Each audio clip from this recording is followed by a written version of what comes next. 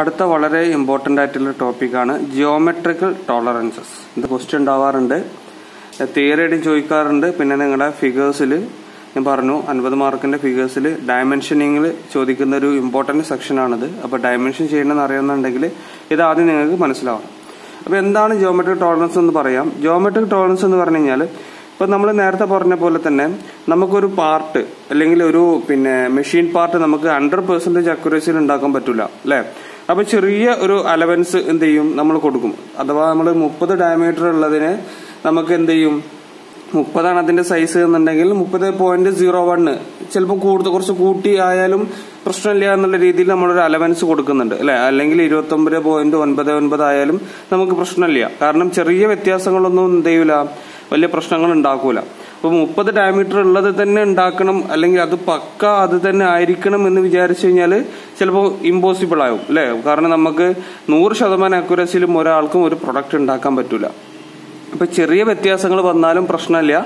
ആ പ്രശ്നങ്ങൾ എത്രത്തോളം പല പാർട്ടുകൾക്കും ഡിഫറെന്റ് ആയിരിക്കും. ചിലതിന് കൂടുതൽ പ്രശ്നങ്ങൾ കൂടുതൽ വന്ന പ്രശ്നം ഉണ്ടാവില്ല. ചിലതിന് കൂടുതലായി കഴിഞ്ഞാൽ പ്രശ്നമായിരിക്കും. അപ്പോൾ അങ്ങനെയുള്ള ഒരു ടേമാണ് ഇത് ഇപ്പോൾ ഇതൊരു എക്സാമ്പിൾ ആയിട്ട് പറയുകയാണെങ്കിൽ എന്താണ് ജോമെട്രി ടോളറൻസ് എന്ന് ചോദിച്ചു കഴിഞ്ഞാൽ ഇപ്പോൾ നമ്മൾ ഒരു സർക്കുലർ റോഡ് ഉണ്ടാക്കുകയാണ് ഒരു സർക്കുലാറിന്റെ ഒരു റോഡാണ് ഉണ്ടാക്കുന്നത് അപ്പോൾ അത് ടോളറൻസ് കൊടുക്കുന്നത് എങ്ങനെയാണ്? അത് സർക്കുലർ അഥവാ ഒരു സർക്കിളിന്റെ ഷേപ്പ് ആയിരിക്കും അല്ലെ? സൈഡിൽ നിന്ന് നോക്കുമ്പോൾ സർക്കിളിന്റെ ഷേപ്പ് ആയിരിക്കും. അപ്പൊ അതിന്റെ സർക്കിളിൽ നിന്ന് വരുന്ന മാറ്റമാണ് ഇവിടെ നമ്മൾ നോക്കുക.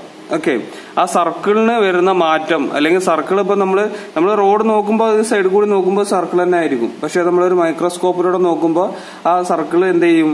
ആ സർക്കിൾ ശരിക്കും എങ്ങനെ ആയിരിക്കും? ചിലപ്പം നമ്മൾ ഇതാണ് സർക്കുലർ റോഡ്. ഓക്കെ ഇങ്ങനെയാണ് സർക്കുലർ റോഡ് ഉണ്ടാവും അല്ലെ? ഇത് പിന്നെ നമ്മൾ ഇവിടുന്ന് ഇങ്ങനെ നോക്കുകയാണെങ്കിൽ ഇങ്ങനെ സർക്കിൾ ആയിരിക്കും കിട്ടുക അല്ലെ? ഇങ്ങനത്തെ സർക്കിൾ ആയിരിക്കും കിട്ടുന്നത്. പക്ഷെ നമ്മളിതൊരു ഇതിപ്പോ നമ്മൾ കണ്ണോട്ട് നോക്കുമ്പോഴായിരിക്കും ഇങ്ങനെ. ഇപ്പൊ നമ്മൾ ഒരു മൈക്രോസ്കോപ്പിലൂടെ നോക്കുമ്പോൾ ഇങ്ങനെ ആയിരിക്കും ഇങ്ങനെ ഒരു സർഫേസ് എഡ്ജ് ഒരു ഇൻകംപ്ലീറ്റ് ആയിട്ടൊരു ഇങ്ങനെയൊക്കെ ഒരു വേവ് നേച്ചറുള്ള സർഫേസ് ആയിരിക്കും. അല്ലേ? നിങ്ങൾ ശ്രദ്ധിച്ച നമ്മൾ കണ്ണുകൊണ്ടൊന്നും കാണാൻ പറ്റില്ല. നമ്മൾ മൈക്രോസ്കോപ്പിലൂടെ ഒക്കെ നോക്കുമ്പോൾ ഈ സർക്കിൾ ഇതേപോലെ ആയിരിക്കും. കാരണം അത് ചെറിയ വ്യത്യാസങ്ങളും ചെറിയ അങ്ങോട്ട് കയറ്റിറക്കങ്ങളൊക്കെ ഉണ്ടാവും. അല്ലെ? അപ്പൊ നമ്മളൊരു സർക്കുലർ റോഡാണ് ഉണ്ടാക്കണമെന്ന് വെച്ച് കഴിഞ്ഞാൽ ഈ സർക്കുലർ റോഡിന്റെ ഷേപ്പിന്റെ മാറ്റം അല്ലെ? ഇതിപ്പോ ഈ ഇങ്ങനെ ഇങ്ങനെ ഈ ഒരു വേവിന്റെ ഇതിലേക്കാരം നമ്മൾ മൈക്രോസ്കോപ്പിലൂടെ നോക്കുമ്പോൾ കാണാൻ പറ്റുന്നത്. ചെറിയ ഒരു അങ്ങോട്ടും ഇങ്ങോട്ടും കയറ്റിറക്കങ്ങൾ എന്തായാലും ഉണ്ടാവും. ഓക്കെ. അപ്പൊ ഇതിലെ മാറ്റാണ് നമ്മൾ എന്ത് എന്തുകൊണ്ട് ഉദ്ദേശിക്കുന്നത്? ജോമെട്രിക്കൽ ടോളറൻസ് ഈ സർക്കിൾ മാത്രമല്ല ചിലപ്പോൾ പാരലൽ ആയിരിക്കാം ചിലപ്പോൾ പെർപെൻഡിക്കുലർ ആയിരിക്കാം. അപ്പൊ എക്സാമ്പിൾ ഞാനത് പറയുന്നുണ്ട് അപ്പൊ അത് മനസ്സിലാക്കിയിട്ട് ചെയ്യാം. ഇതിന് ഇതെന്താണെന്ന് ചോദിച്ചു കഴിഞ്ഞാൽ geometric tolerance defined as the maximum variation that can be permitted in the form or position of a feature form of its true geometry true geometry അതിന്റെ ഷേപ്പിൽ നിന്നുള്ള മാറ്റം. ഓക്കെ അതിന് എന്താണോ അതിന്റെ ട്രൂ ജോമെട്രി ട്രൂ ജോമെട്രി എന്ന് പറഞ്ഞാൽ circle ആണെങ്കിൽ സർക്കിൾ പെർപെൻഡിക്കുലർ ആണെങ്കിൽ പെർപെൻഡിക്കുലർ പിന്നെ പാരലൽ ആണെങ്കിൽ പാരലൽ സ്ട്രൈറ്റ് ആണെങ്കിൽ സ്ട്രൈറ്റ് ഫ്ലാറ്റ് ആണെങ്കിൽ ഫ്ലാറ്റ് ആ ഫ്ലാറ്റിൽ നിന്നുള്ള മാറ്റം അല്ലെങ്കിൽ ആ സ്ട്രൈറ്റ് ആയിട്ട് കിടക്കുന്ന സർഫേസിൽ നിന്നുള്ള മാറ്റം. ഓക്കെ ഇതാണ് ട്രൂ ജോമെട്രിയിൽ നിന്നുള്ള മാറ്റം എന്ന് പറയുന്നത്. മാക്സിമം എത്രയാണോ മാറ്റം അതാണ് എന്ത് എന്തുകൊണ്ട് ഉദ്ദേശിക്കുന്നത്? ജിയോമെട്രിക്കൽ ടോളറൻസ് കൊണ്ട് ഉദ്ദേശിക്കുന്നത്. അപ്പൊ ഇതിന്റെ കുറച്ച് എക്സാമ്പിൾ ഞാൻ പറഞ്ഞുതരാം. അപ്പൊ ഇതിന്റെ ഒരു ക്വസ്റ്റ്യൻ ആണിത്. ഇപ്പൊ ഇതൊരു സ്ട്രൈറ്റ് ആയിട്ട് കിടക്കുന്ന ഒരു സാധനമാണ് അല്ലെ? ഫ്ലാറ്റ് ആയിട്ട് കിടക്കുന്ന സാധനമാണ്.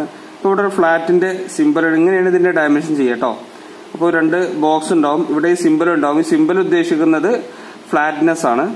പിന്നെ point zero eight okay point zero eight എന്ന് ഉദ്ദേശിക്കുന്നത് അത് ഇവിടുന്ന വേരിയേഷൻ അപ്പോ ഈ ഫ്ലാറ്റ് ആയിട്ട് സർഫേസ് എന്ത് ചെയ്യാം? പോയിന്റ് സീറോ എയ്റ്റ് ഡിസ്റ്റൻസിൽ വേരി ചെയ്താലും പ്രശ്നമില്ല. ഈ മുകളിൽ കിടക്കുന്ന സർഫേസ് ആണ് കേട്ടോ അതാണ് ഈ മുകളിലോട്ട് ആര് കൊടുത്തിട്ടുള്ളത്.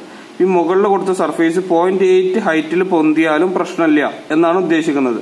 ഓക്കെ അപ്പൊ ഈ സർഫ് ഈ ഇതിന്റെ പേരുകൾ നിങ്ങൾ പഠിക്കണം. ഇതിന്റെ പിന്നെ ഓരോന്നിനും ഓരോ സിമ്പിൾസുകൾ ഉണ്ട് സിമ്പിൾസുകൾ ഞാൻ കാണിച്ചു തരാം ആ ബോക്സിൽ വന്ന സിമ്പിൾസുകളാണ് സ്ട്രൈറ്റ്നെസ് ആണെങ്കിൽ ഈ സിമ്പിളാണ് ഉപയോഗിക്കേണ്ടത്. ഫ്ലാറ്റ് ആണെന്നുണ്ടെങ്കിൽ ഇതാണ്. സർക്കുലാരിറ്റിക്ക് ഇങ്ങനെ സർക്കിൾ ആണ്. സിലിണ്ടറിസിറ്റിക്ക് ഇങ്ങനെ ഒരു ഇതാണ്. അപ്പോൾ ഇങ്ങനെയുള്ള കുറെ പാരലല് പെർപെൻഡിക്കുലർ പിന്നെ ഇങ്ങനെയുള്ള കുറെ സിമ്പിൾസുകളാണ് ഇത് നിങ്ങൾ കറക്റ്റായിട്ട് പഠിച്ചാലേ നിങ്ങൾക്ക് ഡയമെൻഷനിങ് ആ ബോക്സിൽ ഡയമെൻഷൻ ചെയ്യാൻ പറ്റുള്ളൂ. ഓക്കെ അടുത്തൊരു എക്സാമ്പിൾ നോക്കി ഈ ഒരു എക്സാമ്പിൾ ഇതിങ്ങനെ സർക്കിൾ സർക്കിൾ ആയിട്ടുള്ളൊരു പിന്നെ ഇതാണ്. ഇതിങ്ങനെ ടാപ്പർ അല്ല. സൈഡിൽ നോക്കുമ്പോൾ ഇങ്ങനെ ഒരു സർക്കിളാണ് കാണുന്നത്. കേട്ടോ ഈ ഒരു ഫേസ് ആണ് ഈ ലൈൻ കാണുന്നത്. ഈ ഒരു സംഭവമാണ് ഇത് കാണുന്നത്. ഓക്കെ അപ്പൊ സർക്കുലാറിന്റെ സിമ്പൽ കൊടുത്തിട്ടുണ്ട് പോയിന്റ് സീറോ ഫൈവ് ഉണ്ട്. അപ്പൊ ഇതിന് ഇത് എന്താ മനസ്സിലാക്കുക? പോയിന്റ് സീറോ ഫൈവ് ഗ്യാപ്പിൽ എന്ത് ചെയ്യാൻ പറ്റും? ഈ സർക്കിളിന് അങ്ങോട്ടും ഇങ്ങോട്ടും അതിന്റെ ഉള്ളിൽ വന്നാൽ മതി. ഇതിന്റെ പുറത്തോട്ടും പോകാൻ പാടില്ല. ഇതിന്റെ അകത്തോട്ടും പോകാൻ പാടില്ല. അതാണ് ഉദ്ദേശിക്കുന്നത്. കേട്ടോ അതാണ് ഇത് ഈ സിമ്പിൾ ഉപയോഗിക്കുന്ന സർക്കുലാറിന്റെ വ്യത്യാസമാണ്.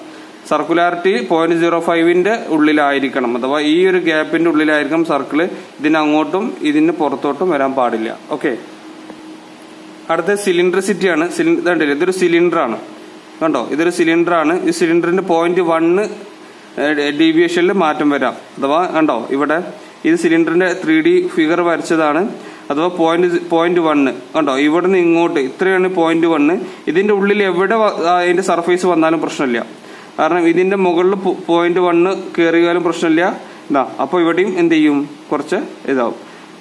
മനസ്സിലായില്ലേ? അപ്പൊ ഇരുപത്തിനാലാണെന്നുണ്ടെങ്കിൽ ഇരുപത്തിനാല് പോയിന്റ് വണ്ണ് ഇല്ല ആ ഡിസ്റ്റൻസിൽ പോവാം. ആ ഡിസ്റ്റൻസിൽ പോകാൻ പാടുള്ളൂ. അഥവാ ഇരുപത്തിനാല് പോയിന്റ് വൺ ഈ ഡിസ്റ്റൻസിലോട്ട് അപ്പുറത്ത് വരാൻ പാടില്ല. ഇതിന്റെ ഉള്ളിലെ ഏത് സർഫേസിലും എന്ത് ചെയ്യാൻ പറ്റും? സിലിണ്ടർ വന്നാലും പ്രശ്നമില്ല. അടുത്ത് പാരലിന്റെ ആണ് പാരലൽ നമുക്കറിയാം. പാരലൽ എന്ന് പറഞ്ഞാൽ എന്താ? രണ്ട് ലൈനുകൾ കറക്റ്റ് ആയിട്ട് സെയിം ഡിസ്റ്റൻസിൽ മൂവ് ചെയ്ത് പോവുക. അതാണ് നിങ്ങൾ പാരൽ പഠിച്ചിട്ടുണ്ടാവുക അല്ലേ? അഥവാ രണ്ട് ലൈനുകൾ ഈ ഡിസ്റ്റൻസും സെയിം ആയിരിക്കണം. ഇവിടെ അളന്ന് നോക്കുന്ന ഡിസ്റ്റൻസും സെയിം ആയിരിക്കണം. ഇതാണ് പാരലൽ എന്ന് പറയുന്നത് അല്ലേ? അപ്പോൾ നമുക്ക് ഇവിടെ നോക്കാം. ഇവിടെ പാരലലിന് സിമ്പിൾ ഉണ്ട്. പോയിന്റ് സീറോ ത്രീ പിന്നെ എ പാരലലിന് ഒരു എ കൊടുക്കാനുള്ള കാര്യം ഞാൻ പറഞ്ഞുതരാം. നമ്മൾ ഇതൊരു ഇതൊരു സെൻട്രൽ ലൈനാണ് അല്ലേ? അപ്പോൾ ഈ സെൻട്രൽ ലൈൻ പാരലായിരിക്കണം ഈ സെൻട്രൽ ലൈൻ ഉദ്ദേശിക്കുന്നത് എന്താണ്? ഈ രണ്ട് ഹോളുകൾ കറക്റ്റ് ആയിട്ട് വരണം എന്നാണ്. അഥവാ ഈ ഹോൾ ഇങ്ങനെ ചെരിഞ്ഞു പോകാൻ പാടില്ല. ഈ രണ്ട് ഹോളും കറക്റ്റ് പാരലൽ എന്ന് പറയുന്നത് ഈ രണ്ട് ഹോളിന്റെയും സെൻട്രൽ ലൈൻ കറക്റ്റ് പാരലൽ ആയിരിക്കണം. ഇപ്പൊ ഇവിടെ നടന്നു നോക്കുമ്പോഴും ഈ സൈഡ് നടന്നു നോക്കുമ്പോഴും കറക്റ്റ് ഡിസ്റ്റൻസ് കിട്ടണം. അല്ലെ? ഇനി ചെറിയ വ്യത്യാസം വരാം. എത്ര വ്യത്യാസം വരാം? പോയിന്റ് സീറോ ത്രീ വ്യത്യാസം വരാം. ചെറുതായിട്ട് പോയിന്റ് സീറോ ത്രീയിൽ ചെരിഞ്ഞാലും പ്രശ്നമില്ല എന്നാണ് ഉദ്ദേശിക്കുന്നത്. അപ്പോൾ ഇത്ര ഈ ഒരു ഡിസ്റ്റൻസിൽ എന്ത് ചെയ്യാൻ പാടുള്ളൂ? പാരലിൽ മാറാൻ പാടുള്ളൂ. പോയിന്റ് സീറോ ഫോർ പോകാൻ പാടില്ല. ഓക്കെ അപ്പൊ എ എന്ന് ഉദ്ദേശിക്കുന്നത് ഈ ഇതാണ് ബേസ് നമ്മളിപ്പോ ഒരു സംഭവം എന്ന് പറയുമ്പോൾ നമ്മൾ ഇത് നമ്മുടെ വീടിന്റെ തറയാണെന്ന് വിചാരിച്ചോ. ഇത് റൂഫ് ഇത് റൂഫാണെന്ന് വിചാരിച്ചോ.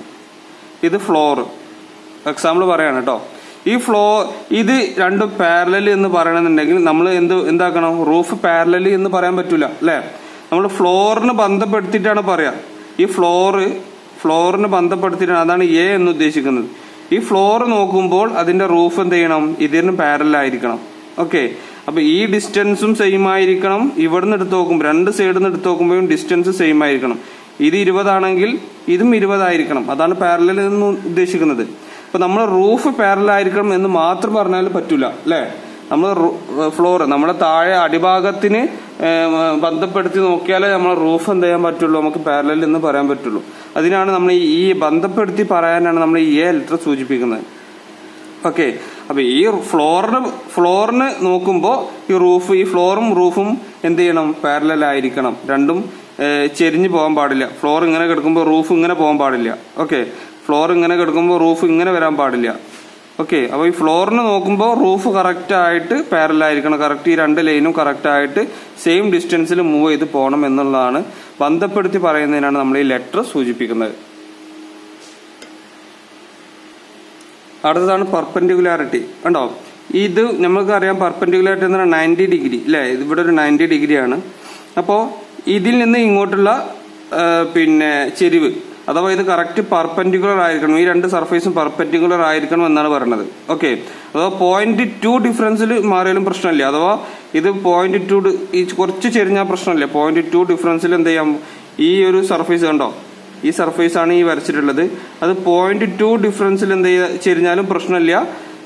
പിന്നെ അതിൽ കൂടാൻ പാടില്ല. പോയിന്റ് ത്രീ പോയിന്റ് ത്രീ വരെ ചെറിയാൻ പാടില്ല. കണ്ടോ? ഈ ഡിസ്റ്റൻസ് ആണ് പോയിന്റ് ടു ഇതിന്ന് ഇങ്ങോട്ട് ചെരിഞ്ഞ് ചെരിയാൻ പാടില്ല. അതാണ് എന്ത് ചെയ്യുന്നത്? പെർപെൻഡിക്കുലാരിറ്റിന്റെ ഇത് പറയുന്നത്.